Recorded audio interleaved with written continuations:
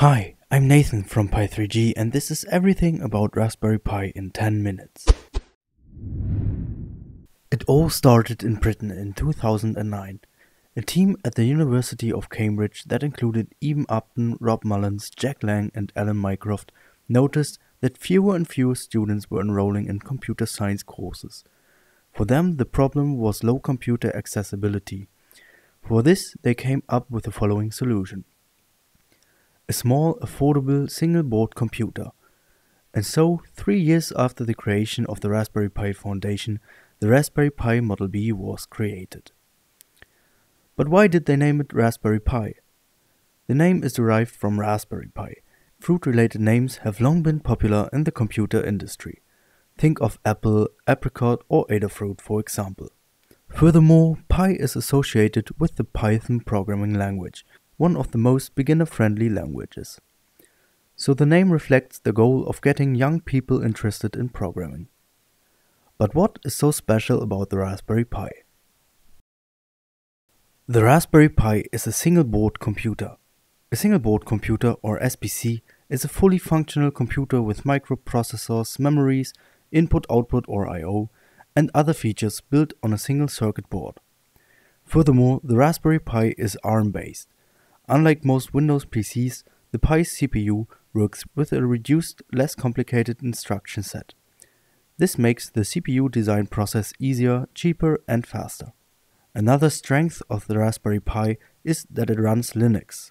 Linux is free and provides access to a lot of open source software. This makes it easier for the user to get started with programming and also saves money. Besides that, Linux is considered to be more secure than Windows. Finally, one of the most striking advantages are the GPIO pins. GPIO means General Purpose Input Output and allows to connect almost any device to the Raspberry Pi. From simple electronic components like LEDs or motors to complex sensors. Thanks to interfaces like I2C, SPI or UART, they can be programmed, controlled or read by the Pi. Thus, countless projects can be realized for beginners as well as professionals. Let's check out the different Raspberry Pi models. As mentioned before, the first model was the Raspberry Pi Model B. It was released in February of 2012 and came with a BCM2835 SoC as well as 256 MB of RAM, 26-pin GPIO and Ethernet. From October 2012, a 512MB RAM version was available. As a side note, SoC means System on a Chip, so all the components of a computer are included on one microchip. 2013 followed a simpler and cheaper Model A, without Ethernet and only 256MB of RAM. In 2014, the models A and B were improved and sold as models A and B these were the first models with 40-pin GPIO. After the immediate success of the first Raspberry Pi generation, the Raspberry Pi Foundation released the Raspberry Pi 2 Model B in 2015. It featured a BCM2836 or 2837 SoC, 1GB of RAM, Ethernet and 40-pin GPIO. Then, in November of the same year appeared the Raspberry Pi Zero, with a BCM2835 SoC, 512 MB of RAM and an ultra-compact form factor. In 2016, it was time for the third version, the Raspberry Pi 3 Model B. This single-board computer has a BCM2837A0 or B0 SoC, 1GB of RAM, 40-pin GPIO and for the first time wireless capabilities. The Raspberry Pi Zero received an upgrade in 2017 with the Raspberry Pi Zero W and the Raspberry Pi Zero WH. In general, the W added to the Pi model denotes wireless capabilities and the H means that it has pre-soldered headers. 2018 followed the Raspberry Pi 3 Model A Plus and B Plus. Again, the A Plus is a simpler version with only 512 MB of RAM and no Ethernet. The B Plus has gigabit Ethernet and dual-band wireless capabilities. The Raspberry Pi 4 Model B, which is the newest version, was released in 2019. It has a BCM2711 SoC, gigabit Ethernet, and dual band wireless, as well as 1 to 8 GB of RAM. The most unusual Pi came out in 2020. The Raspberry Pi 400 is a keyboard that contains a Raspberry Pi 4 Model B with 4 GB of RAM.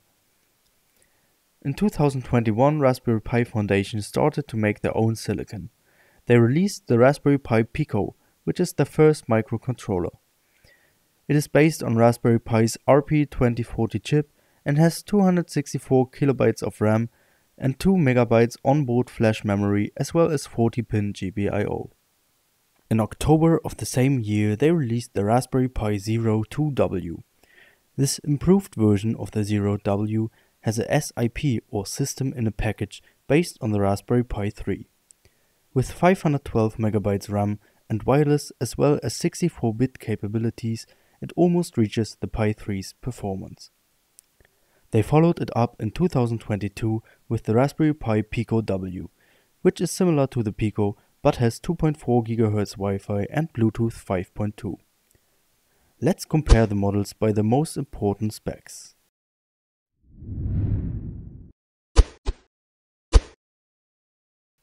Let's start with the most important, which is processing speed.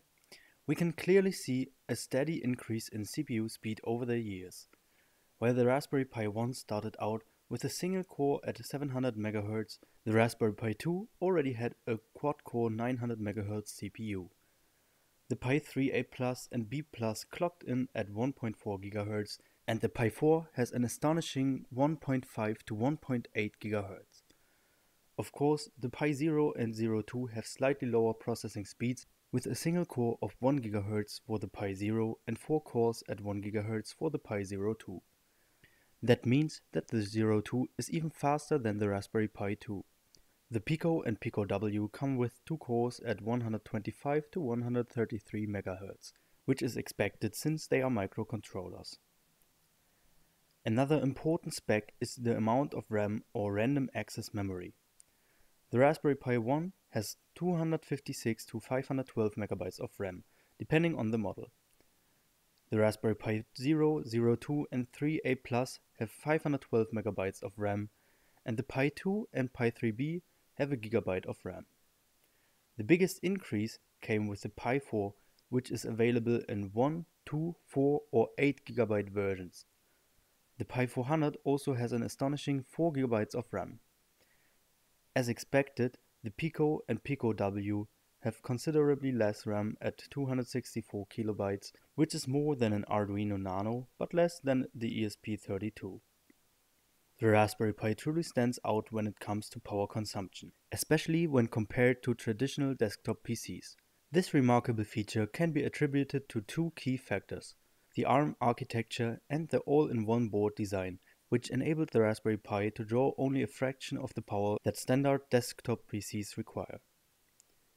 When we examine the data, we can observe a significant improvement in power consumption from the Pi 1B to the Pi 1A. This improvement is a result of a more energy efficient design. As we progress through the models, we notice a slight upward trend in power consumption up to the Model 3A with an increase of approximately 100 mA.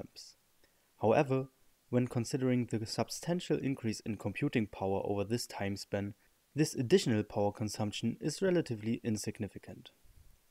Among the various models, the Model 3B Plus and 4B consume the most power, with the Model 4B drawing around 550 mA.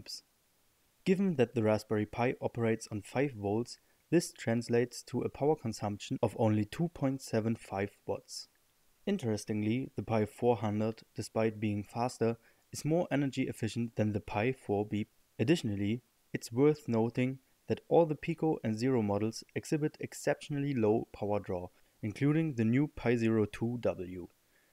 This emphasizes Raspberry Pi's commitment to energy efficiency even in its smaller and more compact models. Finally, let's get to the applications. The Pi can do almost anything you can do on your desktop PC and more. You can use a wide variety of programming languages on the Pi, ranging from C to Python and even Rust. Also, the GPIO pins allow you to connect any electronic device. Thus, you can use the Pi for robotics, AI, as a media center, desktop computer or even as a server, just to name a few applications. You can even build Pi clusters for more computationally heavy projects. Rather than asking what you can do with the Pi, you should ask which Pi is suited for a particular project. For simpler tasks, like controlling motors or reading sensors, the Pico or Pico W should be more than sufficient. Although you can easily do these kinds of things with any Raspberry Pi, the Pico and Pico W are by far the cheapest options. For projects that require an operating system, the Pi Zero and Pi Zero 2 are two very cost-efficient options.